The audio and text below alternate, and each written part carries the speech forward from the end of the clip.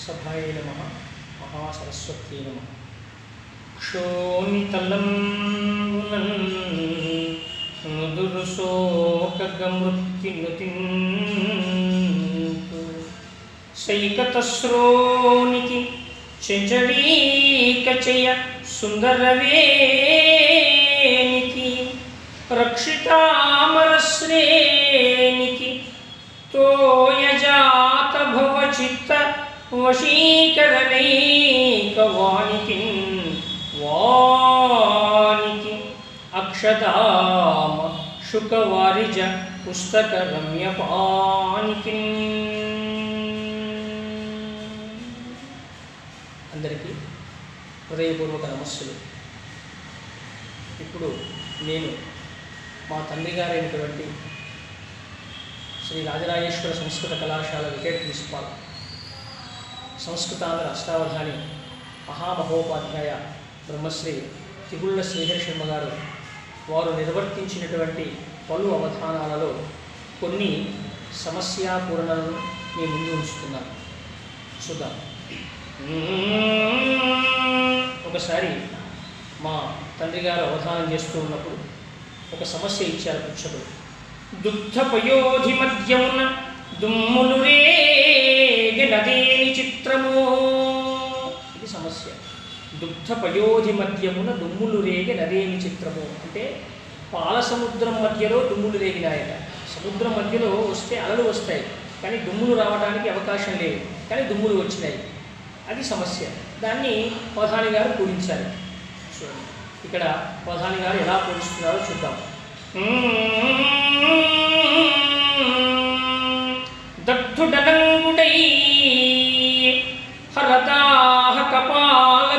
దుర్గగ్నినన్ సందిగ్ధత లేని వార్త విని తీవ్రత నేర్చను లక్ష్మి వక్షమున్ ముగ్ధత మోదికొన్సు చందన ధూళిదేవగా దుగ్ధపయోధి మధ్యమున దుమ్ములు రేగనదేని చిత్రము అంటే పరమేశ్వరుని యొక్క మూడవ కంటికి మన్మధుడు దహించబడ్డాడు అనే విషయం ఎవరికి తెలుస్తుంది? మన్మధుని యొక్క తల్లి అయినటువంటి లక్ష్మీ అమ్మవారికి తెలుస్తుంది ఆ విషయం. అప్పుడు ఎక్కడ ఉంటుందా అమ్మ? పాలసముద్రం మధ్యలో పాలసముద్రం మధ్యలో ఉంటుంది. ఆ విషయం తెలిసి అమ్మ బాగా పుత్రశోకం కదా బాగా ఏడ్చిందట. ఎట్లా ఏడ్చింది అమ్మ? అంటే ఇలా వక్షస్థలాన్ని ఇలా ఆ విధంగా బాదుకుంటూ ఏడ్చిందట. అయ్యో మన్మద కుమార నువ్వు గతిస్తివి కదా అని. అలా వక్షస్థలాన్ని బాదుకుంటూ ఏడ్చినప్పుడు ఏమైంది? అంటే అక్కడ దేవతలు చందనం దట్టించుకుంటారు కాబట్టి ఆ బాదుకునే సమయంలో బాదుకుంటూ ఉన్నప్పుడు ఆ చందన ధూళి పైకి లేచింది కాబట్టి దుగ్ధ పయోధి మధ్యమున దుమ్ములు రేగే నదేమి చిత్రము కాబట్టి అట్లా పాల సముద్రం మధ్యలో ఈ విధమైనటువంటి దుమ్ములు రేగినది అని. ఇట్లా దాన్ని అంటే ఒక అసంబద్ధమైనటువంటి సమస్యను వారు చాలా చక్కగా మరి జనరంజకంగా పరిష్కరించారు. ఇంకొక సమస్యను చూద్దాం ఒకసారి ఒక పుచ్చకుడు ఉండి ఓహో నిచ్చలి నిచ్చలి అన్న తాను చిట్లనన్ ఏమిటి సమస్య అంటే ఒక ప్రియుడు అన్నాడట ప్రేయస్తోటి ఓహో నిచ్చలి నిచ్చలి అనిన తాను ఊహూయటం చిట్లని అన్నదట ఆమె అంటే ఓహో నిచ్చలి నిచ్చలి అంటే ఆమె ఊహు అన్నదట ఎలాంటి ఊహు అది అంగీకారంతో కూడుకున్నటువంటి ఊహు కాదు. అలా అలకతో కూడుకున్నటువంటి ఊహు. తాను ఊహు అటం చిట్లని ఆ, సరేలేండి అన్నదట ఇట్లా అలక మాదిరిగా. మరి ఎందుకు ఆమె అడిగింది? ఆయన ఊ ఆయన పిలిస్తే ఎందుకు అడిగింది? చూద్దాం సమస్య. పరిష్కరి పూరణలో చూద్దాం.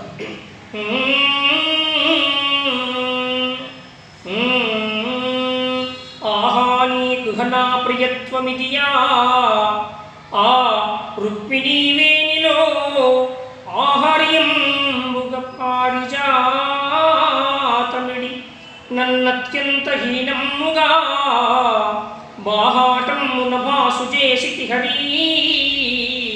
బల్మోసమీ సత్యకున్ ఓహో నిచ్చలి నిచలి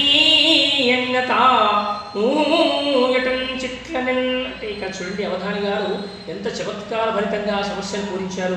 మా తండ్రి గారు తిరుమల శ్రీహరి గారు అంటే ఆ కృష్ణ పరమాత్మ ఒకసారి సత్యభావ దగ్గరికి వెళ్ళి ఊహో నిచ్చలి నిచ్చలి అంటే ఆమె అలుగుకుంటూ ఊహు అన్నదట. ఎందుకు ఊహు అన్నది అంటే ఆహా నీ కుహనా ప్రియత్వమిదయ్యా ఆ రుక్మిణీ వేణిలో ఎందుకు నువ్వయ్యా? నా మీద కపట ప్రేమ ప్రయోగిస్తున్నావు ప్రదర్శిస్తున్నావు. స్వర్గం నుంచి తెచ్చినటువంటి పారిజాతాన్ని వృక్షాన్ని తీసుకెళ్ళి ఎవరికి ఇచ్చావో ఆ పారిజాతాన్ని రుక్మిణికి ఇచ్చావు. నువ్వు నువ్వేమో నా దగ్గరికి వస్తున్నావు. పారిజాత వృక్షమేమో ఆమెకు మట్టిగానేమో నా దగ్గరికి వస్తున్నావు. అని ఆ విధంగా అలా ఓహో నిచ్చలి నిచ్చలి అంటే ఆమె అడుగుకుంటూ ఆ అలకతో కృష్ణ పరమాత్మతో సత్యభామ ఆ విధంగా అనమాట ఇట్లా అవధానం చిత్తైకాగ్ర్యం అవధానం. అవధానం అంటే పలు అంశాలపైన ఏకాగ్రతగా ఉండటం. అంటే పుచ్చకుడు ఏది అడిగినప్పటికీ కూడా చెప్పేటట్టుగా ఉండటం. అవధాని గారు ఒకసారి అడిగారు ఒక అవధాని గారిని. ఏమంటే అవధాని గారు వేముల వాళ్ళు అవధానం చేస్తూ ఉన్నప్పుడు వేముల వాళ్ళు ఎన్ని గుళ్ళు ఉంటాయండి అన్నారు. అంటే సామాన్యంగా తెలివని తెలియని వాళ్ళైతే అన్ని లెక్క పెట్టుకుంటారు ఈ గుడి ఆ గుడి. కానీ వెంటనే అవధాని గారు ఏమన్నారంటే వేములవాడ గుళ్ళు ఎక్కడైంది? వేములవాడ ఒక్క గుడి కూడా లేదు. ఇది రాసి రాయండి పదం. ఆ పేపర్ పైన రాయండి వేములవాడ ఒక ఎతనా దీర్ఘం ఉంది కొమ్ము ఉన్నది దీర్ఘం ఉన్నది తప్ప అక్కడ గుడి ఎక్కడదండి? అంటే వేములవాళ్ళు గుళ్ళు లేవు. ఆ పదంలో గుళ్ళు లేవు. ఇట్లా ఒక సద్య స్ఫూర్తి అందుకే నారాయణ రెడ్డి గారు అవధానాన్ని వర్ణిస్తూ ఏమంటారంటే విషయ భారం వివేచన సారం విద్యున్మయ చమత్కారం ఈ మూడు మేళవింపుల సంగమం అవధానం అంటాడు. కాబట్టి ఆ విధంగా కొప్పురపు కవులు తిరుపతి వెంకట కవులు శ్రీకారం చుట్టినటువంటి ఆ అవధాన పరంపరని మరి గరికపాటి నరసింహారావు గారు అంతకుముందు వెడసాని మోహన్ రావు గారు వెడసాని మోహన్ గారు మరి తర్వాత విసహస్రావధాని సంస్కృతాంధ్రావధాని బ్రహ్మశ్రీ గురువరిలు మాడున నాగమణి శర్మ గారు ఆ పరంపరలో తెలంగాణలో అష్టకాల నరసింహ అష్టకాల నరసింహరావు శర్మ గారు గుమ్మనగారి లక్ష్మణ శర్మ గారు అంద వెంకట్రాయ గారు తిరుల శ్రీహరి శర్మ గారు వీరి విధంగా అవధాన విద్యను పండించి మరి ఆ సాహితీ ఆ సాహితీ రుచులను మరి ప్రాంతాలకు మరి వారు అందజేసినటువంటి వారు. కాబట్టి అవధానం అంటే అంత గొప్ప. తెలుగు భాషలోనే కేవలం అవధానం అనేది ఉన్నది. మనకి వేరే ఏ భాషలో చూసినా అవధానం ఎక్కువగా వేదంలో ఉన్నది అవధానం. తర్వాత అంత రసరంజకంగా ఎక్కడ ఉన్నది అంటే తెలుగులో మాత్రమే కనబడుతుంది. ఇంకొకసారి ఇంకొక చిన్న పద్యం చూద్దాం.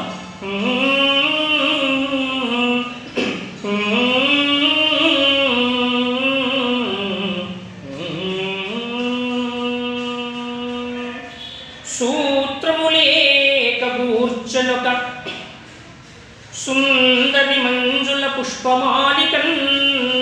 గొప్ప సమస్య అండి. ఇంత చక్కటి సమస్య. శిక్షకులు కూడా మహా పండితులైతే కానీ ఇలాంటి సమస్య ఇవ్వలేదు. అంటే ఛందస్సు పైన అవగాహన ఉన్నవాళ్ళు భావ భావం పైన చక్కటి పరిణతి ఉన్నవాళ్ళు. ఏమంటున్నారు ఇక్కడ సమస్య అంటే సూత్రము అంటే దారం. సూత్రము లేక కూర్చున్నొక సుందరి మంజుల పుష్పమాలికం. అంటే దారము లేకనే ఒక మంచి అందమైన అమ్మాయి ఒక హారం కూర్చుందట. హారం కూర్చింది. ఎట్లా కూర్చుంది దారం లేక? అంటే అప్పుడు అవధాని గారు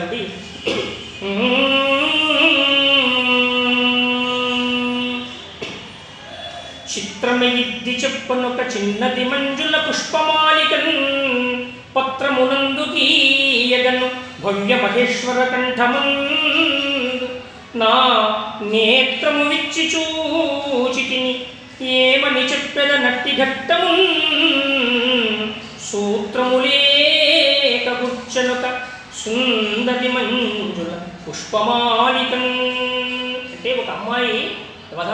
ఇస్తున్నాడు ఈ పద్యాన్ని అంటే చిత్రమే ఆశ్చర్యం. ఎట్లా? చి- చిత్రమే చెప్ చిత్రమే ఇట్టి చెప్పని ఒక చిన్నది మంజుల పుష్పమాలి. ఒక అమ్మాయి ఏం చేసిందట? ఒక పేపర్ పైన పరమేశ్వరుని యొక్క బొమ్మ గీసిందట. గీసి ఆయన మెడలో ఒక హారం కూడా గీసిందట. కాబట్టి దాన్ని చూసినట్టయితే సూత్రము లేక కూర్చునక సుందరి మధ్యలో కానీ దారము లేక అని దారము లేకుండానే హారం కూర్చుంది అని. ఇట్లా అంటే ఒక సత్య స్ఫూర్తి ఉంటే కానీ అవధానంలో మనం పదాలతో వాళ్ళు పదాలతో ఆడుకుంటారు. కాబట్టి అవధాని యొక్క లక్షణం ఏమి ఎట్లా ఉండాలి అంటే ఏ విధమైనటువంటి లక్షణాలు అవధాని కలిగి ఉండాలి అంటే చిత్తేకాగ్ర్యంతో పాటు రసపారవశ్యం కలిగి ఉండాలి. అంటే పద్యం చెప్ప ఆశువుగా పద్యం చెప్పగలగాలి ఆ పద్యం కూడా చాలా కవిత్వమయంగా ఉండాలి. పద్యం పట్టి పద్యం అయితే పద్యమే కానీ కవిత్వమయంగా ఉండాలి. అది అవధాని గారి యొక్క లక్షణం. ఒకసారి అవధాని గారిని అడిగారు ఏమని అంటే ఒక సందర్భంలో చిన్నగా చందో భాషణం అంటాం నేను ఇంతకుముందు మీ సమస్య చెప్పాను చందో భాషణం అంటే మా మధ్యలో మాట్లాడటం. అవధాని అని అడుగుతున్నారు. ఏమి కావలెను ఏమంటే పిల్లలకి ఏం కావాలి? అంటే అవధాని ఏంటి పిల్ల చిన్న పిల్లకెడు తల్లి కావాలని ఏం కావాలండి వాళ్ళకు? అమ్మ అని పిలిచి పిలిస్తే అమ్మ ఉండాలంతే అక్కడ. మళ్ళీ ప్రశ్న. తల్లికి నేమి కావాలను? మరి తల్లికి ఏం కావాలండి? అంటే ధైర్యము సంగడి పిల్ల కావాలని మళ్ళీ అవధానం చెప్పారు. అంటే తల్లికి తల్లికి ఏం కావాలండి? అమ్మా నేను నీకున్నాను అనే ధైర్యాన్ని ఇచ్చే పిల్ల కావాలి. మళ్ళీ ప్రశ్న పుచ్చకుడు పిల్లకు నేమి కావలను. ఇక్కడ ఏకవచనమే పిల్ల. అమ్మాయికి ఏం కావాలి యువతికి? అంటే ప్రేమకు పెళ్ళికి తోడు కావలను. అమ్మాయికి ఏం కావాలి? ప్రేమకు పెళ్ళికి ఒక భర్త తోడు కావాలి. మళ్ళీ ప్రశ్న. ఏమని? ఎల్లరకి ఏమి కావాలి? ఈ ప్రపంచంలో అందరికీ ఏం కావాలయ్యా? అంటే ఎల్ల విధం ఉన్న తృప్తి కావాలని. ఏమీ అవసరం లేదు. ఈ ఎల్లరికీ ప్రపంచంలో ఉన్న వాళ్ళందరికీ ఏం కావాలి అంటే తృప్తి మాత్రమే కావాలి. అంతే కదా? అహం సుఖి అనుకుంటాడు ఎవరైనా. నేను సుఖిని అనుకుంటాడు కానీ నేను దుఃఖిని అనుకోడు కదా? కాబట్టి అలాంటి ప్రాచీనమైనటువంటి అవధాన సాహిత్యాన్ని అందరికీ కూడా ప్రజల్లోకి తీసుకెళ్తున్నటువంటి మరి ఆ మహా అవధానులకు నా నమఃపూర్వక మనస్ నా నా మనఃపూర్వక నమస్కారం ప్రేక్షక మహాశైలకు నా హృదయపూర్వక నమస్కారములు. ఏదైనా దోషాలు ఉంటే క్షమించండి. ఇది ఒక నా చిన్ని ప్రయత్నం. నా ఈ ప్రవచనాన్ని విని చూసి సబ్స్క్రైబ్ చేసి అలా ఈ ఛానల్ని సబ్స్క్రైబ్ సబ్స్క్రైబ్ చేసి షేర్ చేయండి.